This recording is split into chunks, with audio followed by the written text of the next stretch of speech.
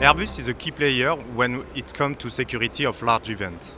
We have demonstrated in the past how we contribute to the security of large events like Olympic Games, but also big international political events. Our solution covers the entire life cycle for the preparation up to the end of the large event. So at the beginning, we need to anticipate. So we propose solution about intelligence in order to see what are the threats and how to manage them.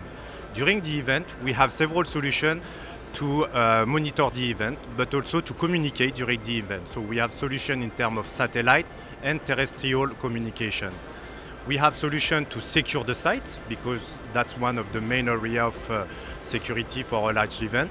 And we have also solution for the return of experience after the event.